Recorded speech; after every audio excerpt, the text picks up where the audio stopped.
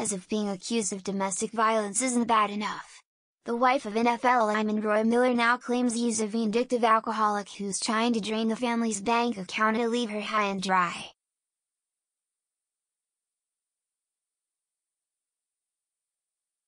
30-year-old Miller was cut by the Kansas City Chiefs back in November following a domestic violence arrest in Florida, despite signing a one-year, $1.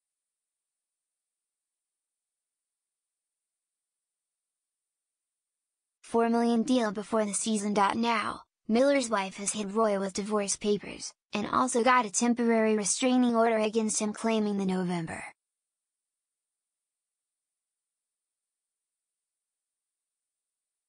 attack, in which he ripped the hair out of her head, occurred in front of one of their kids.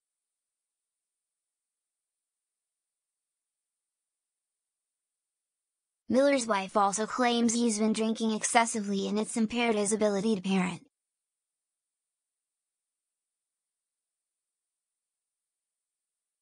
But, on top of all that, Miller's wife claims she noticed the NFL player has been taking huge amounts of money out of their joint bank account, more than $400,000, and she's concerned he's trying to hide the cash before she gets her cut in the divorce.